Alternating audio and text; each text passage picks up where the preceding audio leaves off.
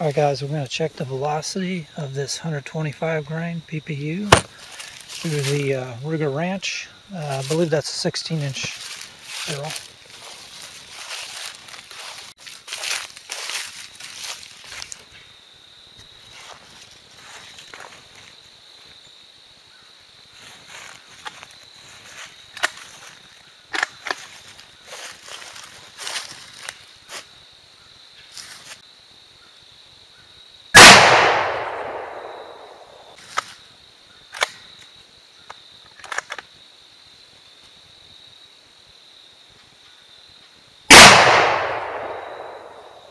Twenty-two fifty-three.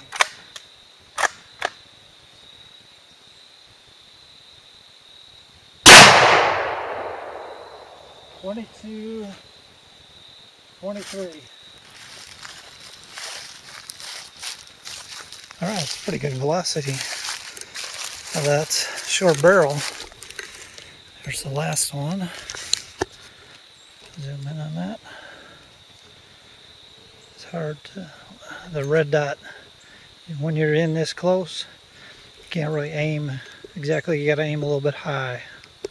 Put your red dot a little bit high, otherwise you'll shoot your chronograph. So that was the last one, 22, 23.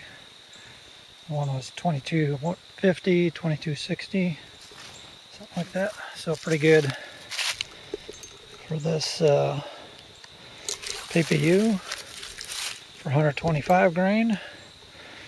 That's uh, faster than I thought it would be, this little short barrel.